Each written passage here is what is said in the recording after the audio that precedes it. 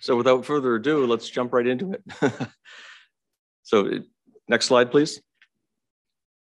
So this is just a, a, quick overview of the overall budget and kind of the major components of it. Uh, you'll see we've broken it out into those major components. So on the town side, municipal, we're looking at the starting point for the conversation is a, about a 4.13% increase on the net basis.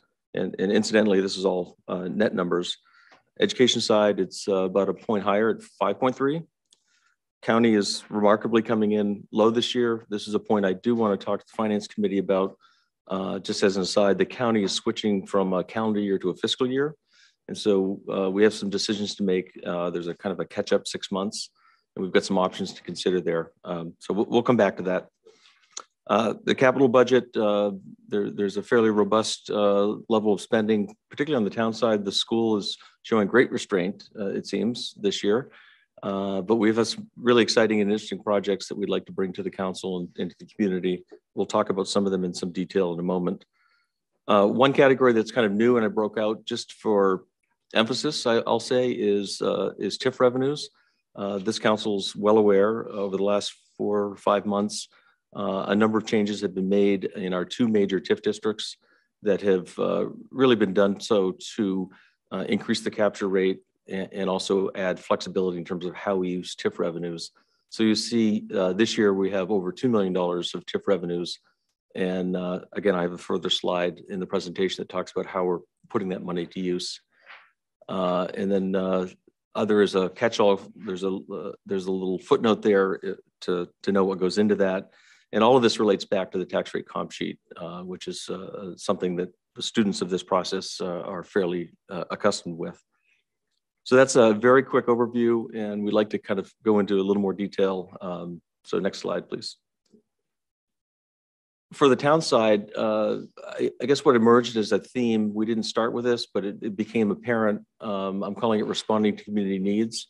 We had the very unique opportunity of having a community survey that gave us feedback and insight, really like we don't have in, in a typical uh, year. And uh, some of that guidance, um, my senior staff really took to heart in my suggestion and, and request.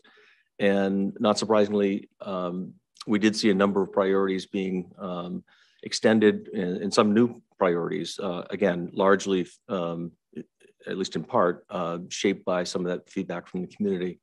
I will say none of these projects are really out of the ordinary. There's, there's the sorts of things that we've been doing, but it's really gratifying to get community feedback that um, you know, these are things that we, they want to see more of. So really quickly, we're looking to refresh our townwide transportation study. It's about 10 years old. Uh, this is an issue that uh, comes up time and time again, and it's it's long overdue. Uh, that was something that was loud and clear through this study uh, survey. Uh, sidewalks, maintenance, and, and, construction. We've got a couple of really exciting projects uh, we'll talk about in the capital plan for new sidewalk sections in town. And then we've, we've, we're embarking on a 10 year plan to maintain what we have um, and, and, also provide winter maintenance uh, in a better, more consistent fashion. Uh, we're uh, redoubling our efforts for road resurfacing. So this is the typical paving. And our philosophy is uh, let's keep good roads good. Let's not let them deteriorate to the point that they need full reconstruction. Um, another comment we heard through the survey is residents were looking for more visibility of our police department, particularly in the neighborhoods and we've we've made some kind of low cost, no cost uh, changes in operations.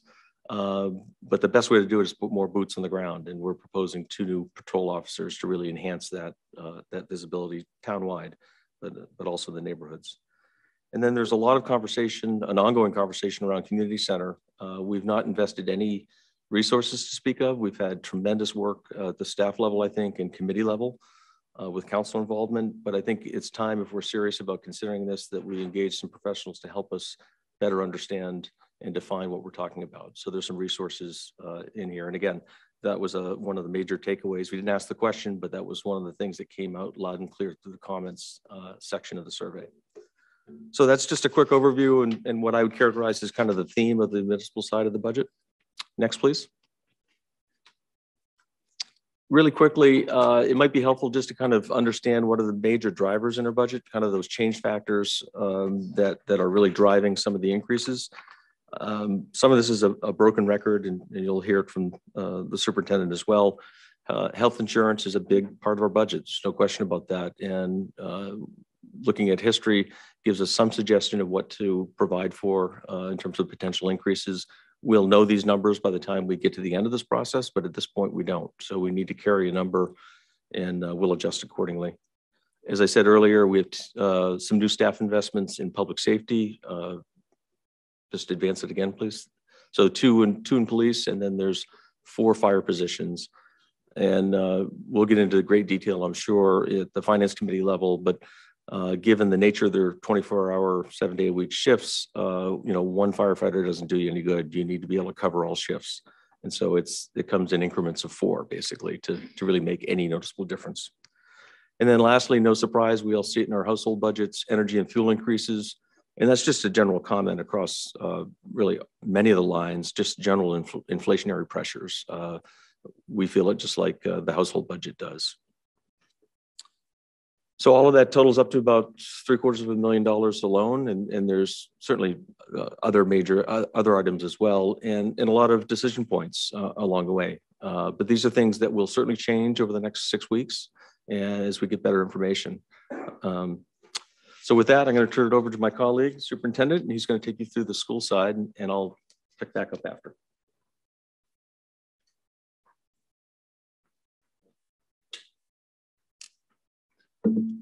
Thanks, Tom.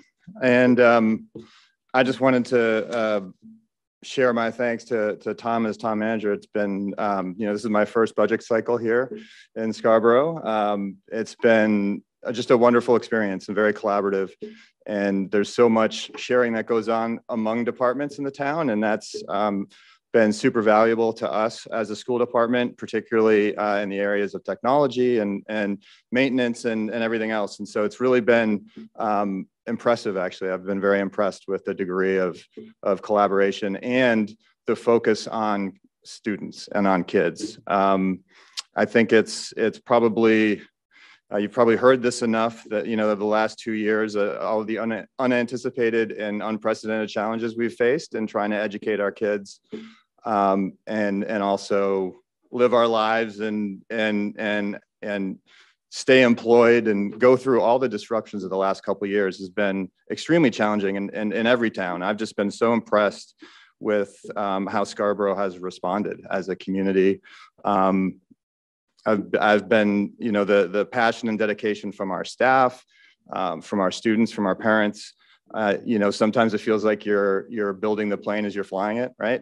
Um, and we went from okay, we have an entire district K to 12, every single school, and we can't use our buildings, so we have to learn how to educate kids remotely and and off campus completely, almost at a drop of a hat. We had to do that, and then we had to transition to a hybrid model, massive organizational change. Um, where kids are either fully remote or part remote and part in person. And then finally, we were able to open our doors and, and open our schools again this fall and return to fully in-person uh, instruction with all of the additional health and safety measures um, and changes in protocols and all those things. So that uh, th those are three pretty massive organizational shifts inside of a two-year period. Um, and and that doesn't happen well unless you have that degree of collaboration and just uh, professionalism and just straight up hard work. So um, the people that i've met and the community just really just kind of rolls up their sleeves and makes sure that we can do the best for our kids. So as far as um, our overall budget drivers this is a pretty unique continues to be a pretty unique um, budget cycle for schools. Um, some of the things that we're looking at is continuing to maintain our health and safety of students, staff, and community, and really focusing on that. Um, we're in kind of recovery mode. So um, we already have a lot of uh, uh, data to suggest that having the kids back in person with their teachers and with staff over the course of this year has been hugely impactful.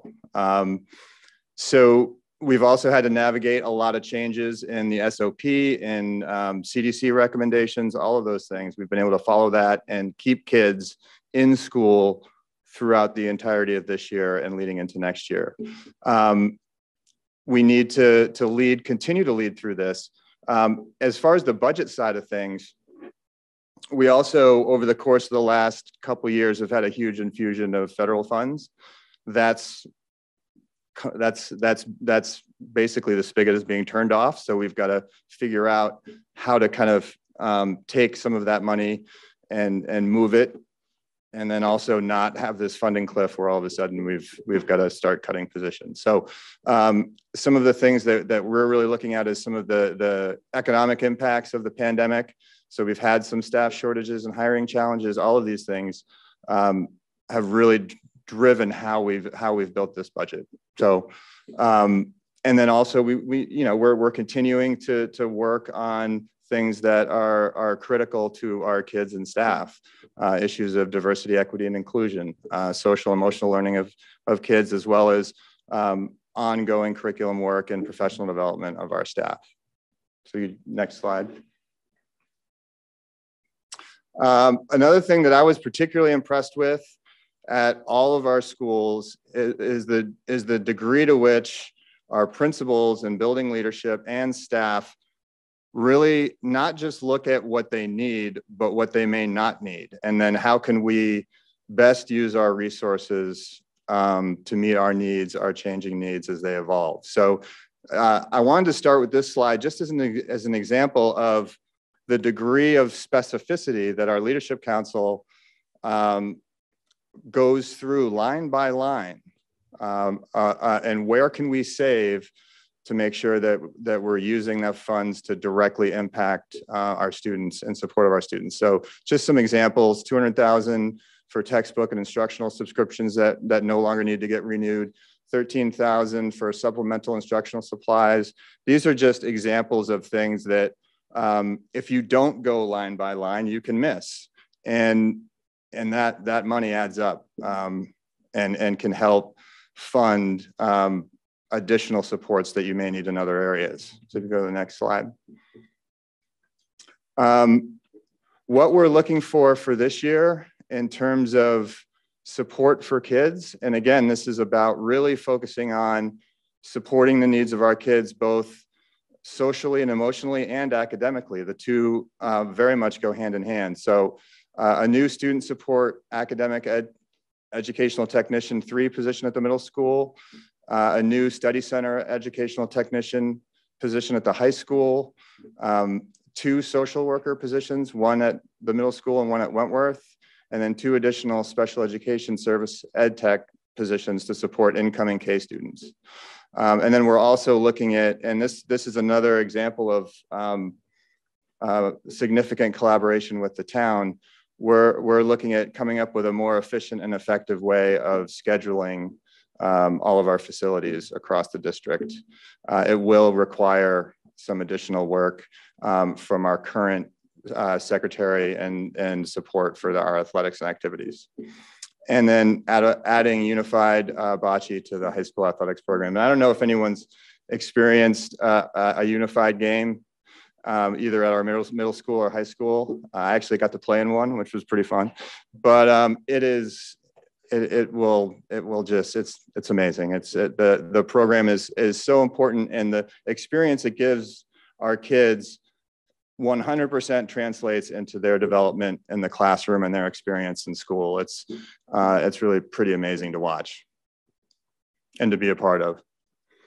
Um, the other piece of this is, is and, and this is in the executive summary too, a really um, clear breakdown of all the, all the federal COVID grant monies, how they were spent, um, and then building in that contingency so that, so that we're able to con continue to fund into this budget some positions so that it's not having to cut, you know, 10 positions in one year and really kind of step down and then really assess okay, what do our kids need?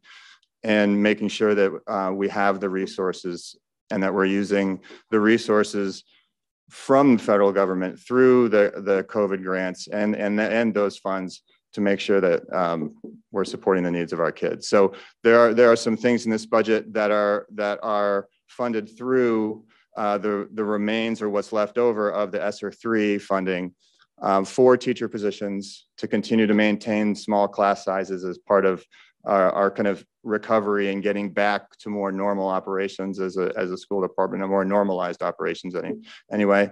Um, a full guidance counselor for the K to two schools, summer academies in July and August, again to um, provide additional support for students, uh, specialized reading instructions for special services, and then a supplemental one-to-one educational technician for incoming kindergartner needs. And again, that has to do with, um, you know, uh, students who, who are already working with CD, CDS before they're of school age.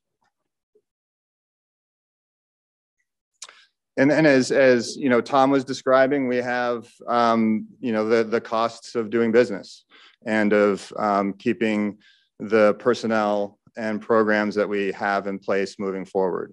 Um, you know, we, we're starting, we're in negotiations for um, the uh, teachers, which is, which is our largest um, contractual and CBA negotiations so that, so that that's a big number.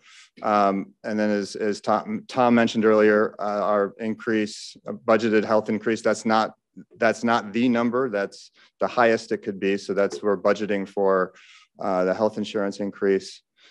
And then we also, um, special services, additional, the two additional social workers and two educational technicians uh, necessary to meet our, our, special services and special needs requirements. Um, increases in instructional technology. One of the, one of the things that came out of our uh, remote and hybrid models is a significant investment um, in technology for all of our students K through 12 uh, and you're going to continue to maintain that technology and maintain that investment. Um, and then, uh, you know, anyone who's filled their oil tank recently knows the uh, energy and fuel costs are a challenge. Um, next slide. And then as uh, Tom noted as the first part of uh, uh, his slides, and we'll continue talking about it, the total education um, general fund operating budget, the percent change is 6.20, 6.40 increase in the total educational budget. We do have an increase in non-tax revenues, which brings in the tax request at 5.31%.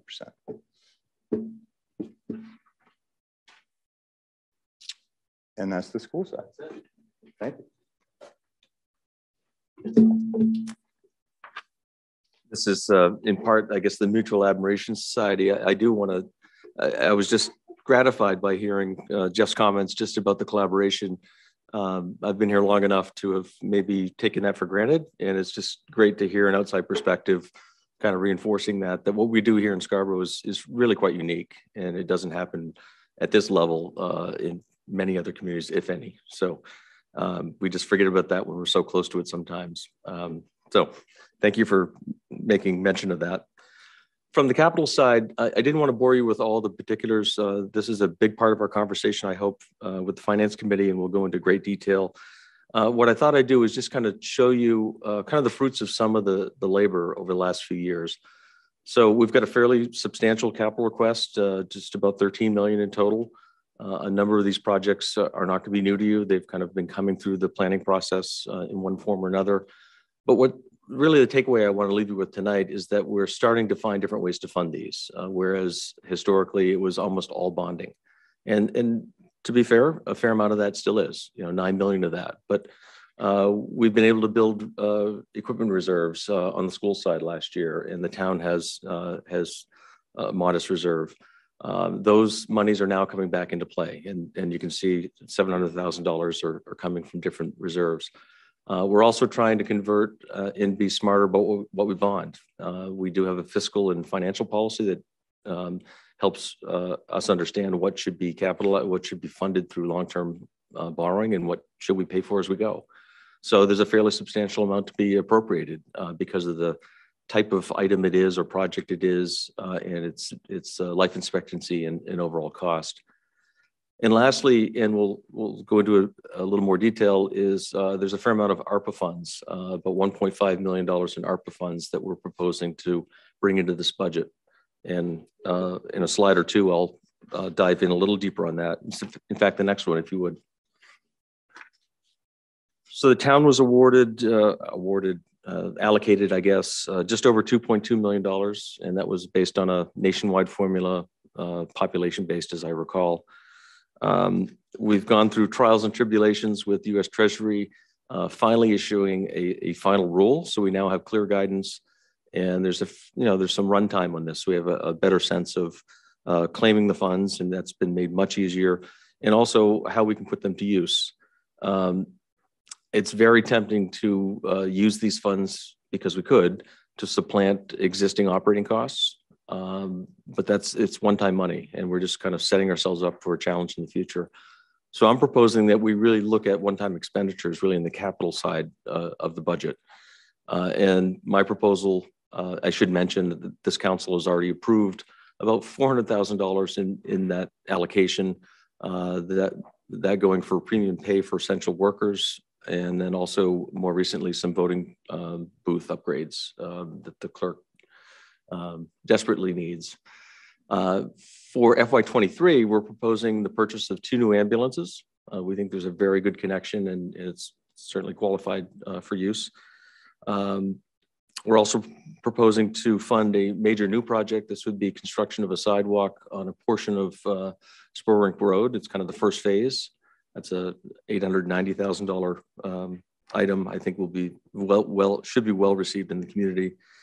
And uh, we, when we relocated, uh, we relocated the message board from the old public safety building to a brand new sign out front. And it, you know, within two months of putting it in, uh, uh, it, it, broke down. We can't repair it. So uh, we'd like to repair that.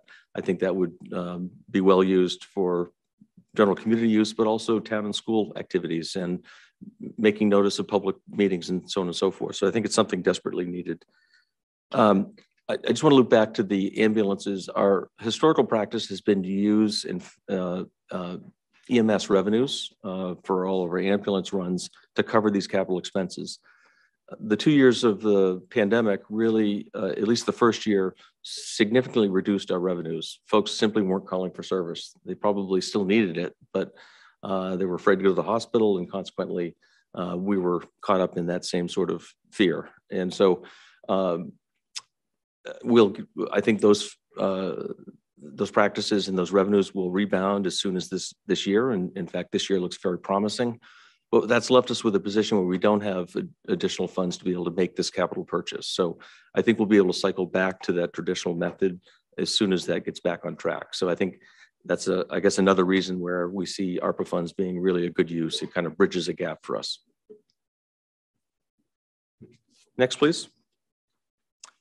The other thing uh, I just wanted to highlight, it's a, it's a new and different thing. I made mention uh, early on, uh, this council is quite aware uh, of the changes you've made to our uh, major TIF, uh, TIFs in town.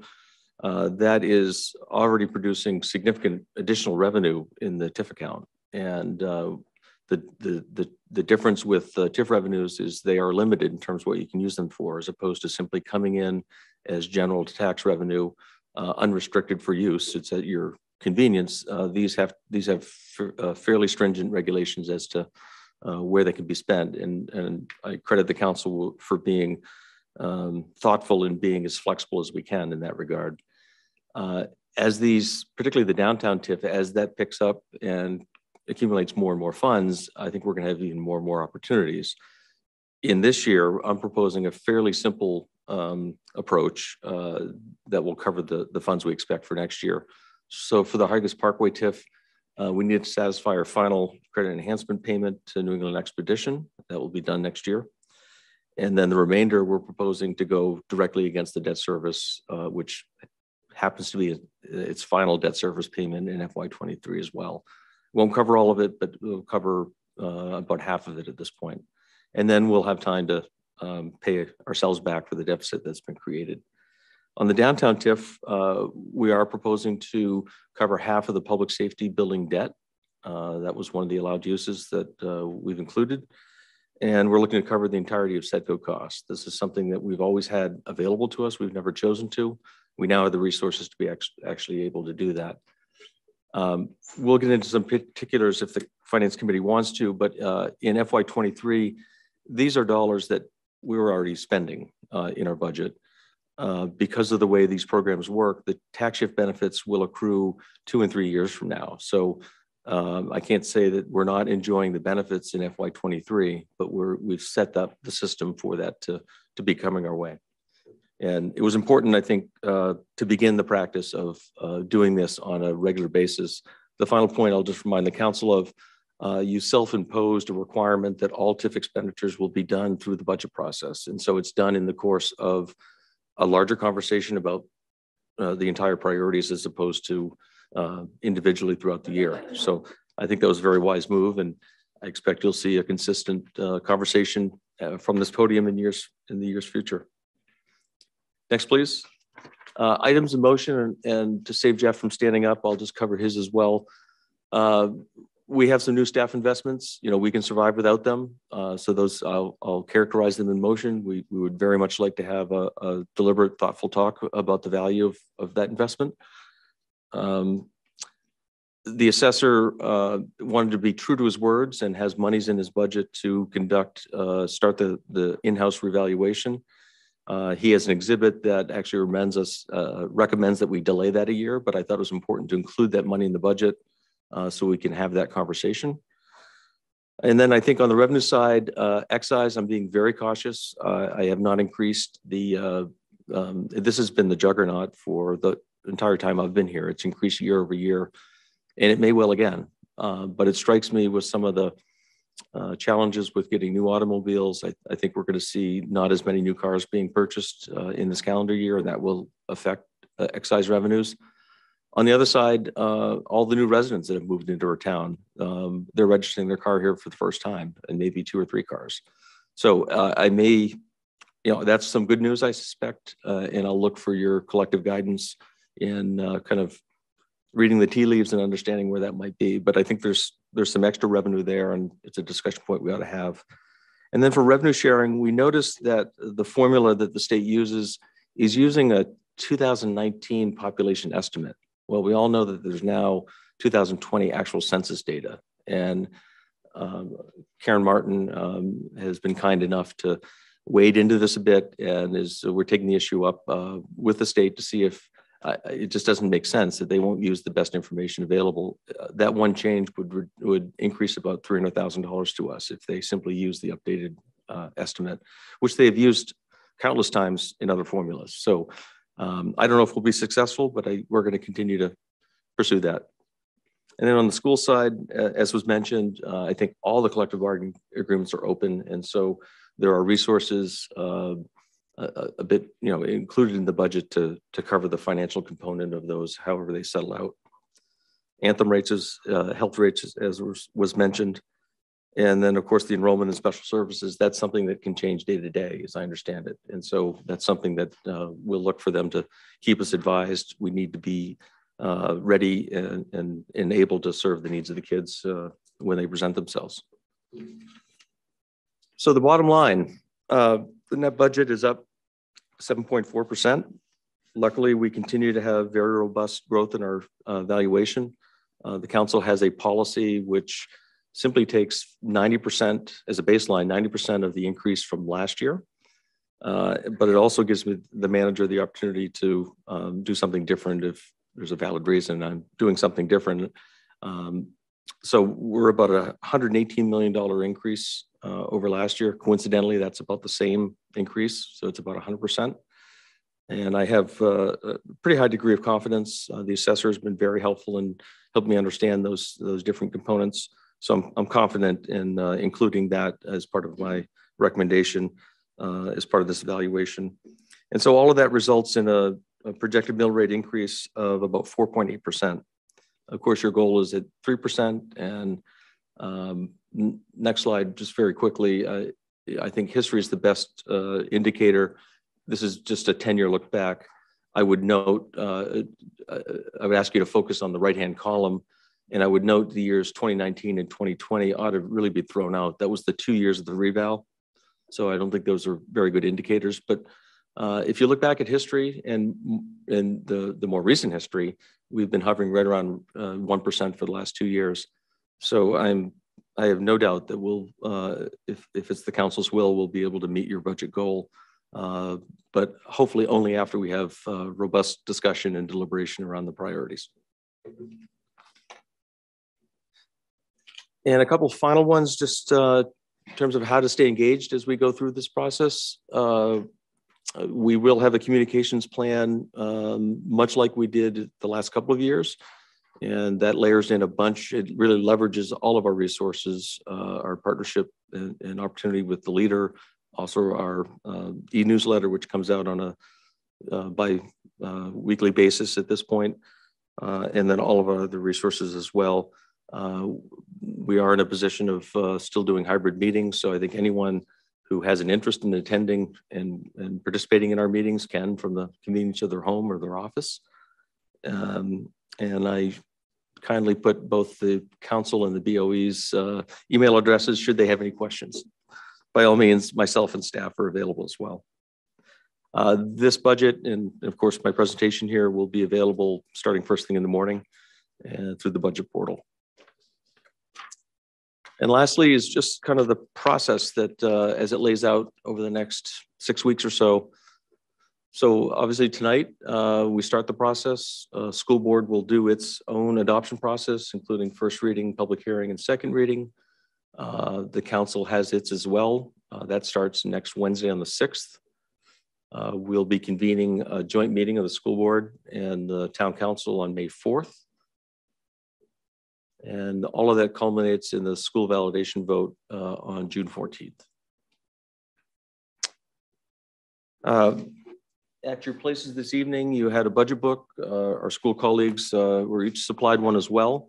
I, I, won't spend the time to kind of go through and orient it. Hopefully it's fairly self-explanatory. If not, um, we do try to provide a fair amount of content, uh, both narrative to provide the context for you, but also the uh, entire line item detail for both town and school was there should you want to uh, look at that level of detail. And uh, I have no doubt that uh, the Finance Committee will do its part to, to dig deep and ask lots of questions. And uh, I suspect they're very interested in having anyone attend those meetings and be part of that proceeding if you wish. So we stand ready and I hopefully able uh, to assist you as you go through this journey. Thank you, guys. Um, that was great. And just to be clear, this will be available electronically yes. on the town's website tomorrow. Yeah, I'd prefer not copying it for people, so please view it. Me as well. If anybody needs a copy, I, I have one available. Um, so uh, I wanted to reiterate, reiterate one of your slides there that, that showed, you know, four years ago, we had a 0% tax increase. Three years ago, it was minus 10.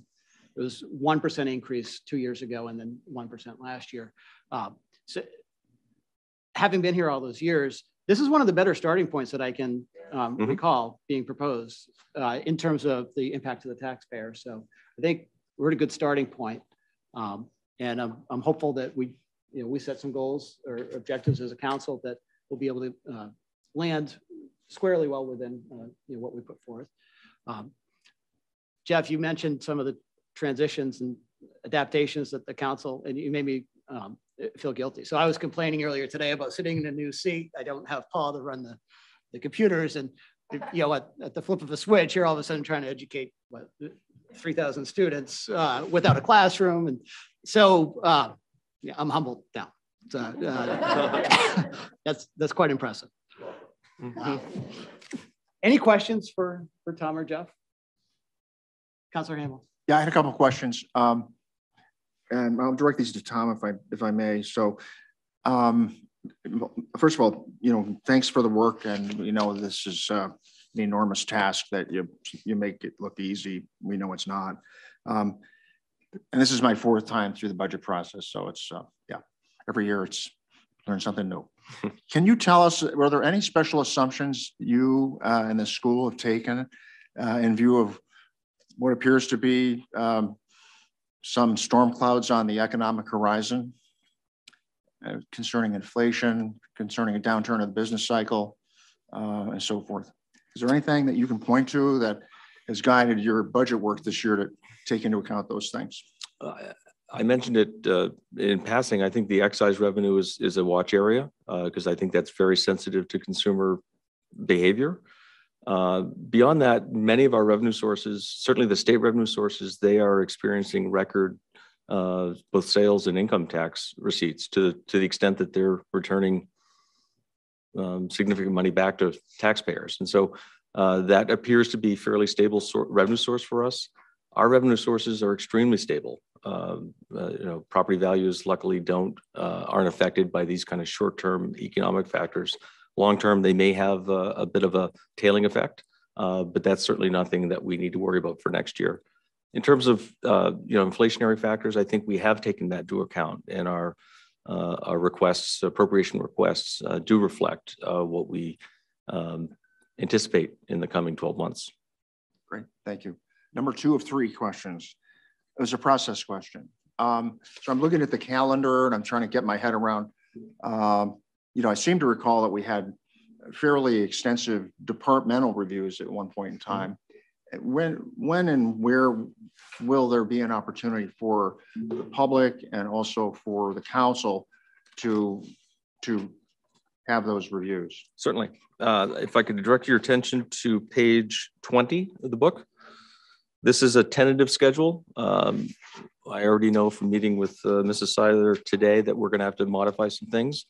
Uh, so I think uh, we'll do that fairly quickly as soon as next the first meeting next week. And with a revised schedule, we'll make certain to get the public aware of what that schedule is and publish it. Uh, so these these are all public proceedings, uh, and and uh, and the public and councilors are encouraged to come and be part of that process. So um, I so am, uh, is it, am I correct in saying that most of that will take place in the finance committee meetings, not in a town council meeting or a special workshop? Correct. That's been the historical practice that the finance committee really runs that detailed review process for the council and produces uh, typically a series of recommended adjustments uh, at the end of that process. Okay. And the final question, three of three, is, uh, and I forgive me if I can't quote the number, but I seem to recall that we have an obligation it may be a financial policy requirement or someplace in the charter to maintain a certain unrestricted fund balance. You've got a, a slide on this on page 18. So can you confirm for us what the requirement is and how successful we've been or not in terms of achieving that? Yeah, I believe you're referencing uh, the kind of self-imposed, uh, you know, no other entity uh, has a requirement. We've created some internal requirements uh, in large part to because it's good prudent finance, but it also helps our bond rating to, to show healthy fund balances. Uh, essentially, we, we cannot dip below uh, 8.5, 8.33%, uh, but it, uh, there's aspirational goals at 10% and 12%. And uh, when we attend the, attain those certain goals, uh, there's certain further instructions as to what to do with the uh, additional fund balance at that point. Okay, so my, my final question on that is, so it, if you look at the bar chart, we did pretty well, you know, in terms of keeping that number down mm-hmm. through you 2011 through 2016.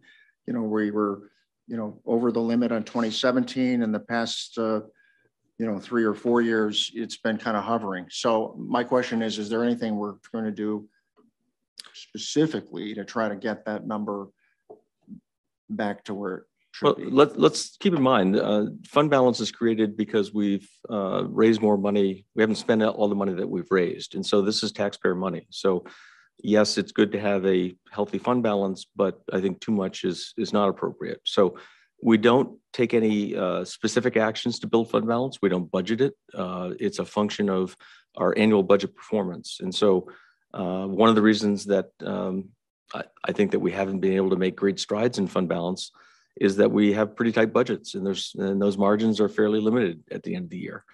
Um, and so, uh, no, we don't have any specific strategies to build fund balance. And there was no opportunity to use ARPA or COVID funding for this. No, in fact, that was a an absolute prohibition. That was uh, crystal clear. Uh, very tempting. Everyone would have just tucked it away for a rainy day, and uh, explicitly, that's not allowed. You never know if you don't ask. No, fair enough. Fair enough. Uh, it, more to your point, uh, we do have the audit that, is, uh, uh, you know, ready to be shared with you. So we'll look to schedule with leadership uh, that session. I think that will be an opportunity to get into a much deeper level of fund balance discussion. Thank you. Any other questions? see that we have some of the school board here. Do you guys have any questions or comments? Appreciate you, you all coming. Okay. Thank you. Well, with that, I think that concludes today's meeting. If there's no objections, um, we're adjourned. Thank you, everybody.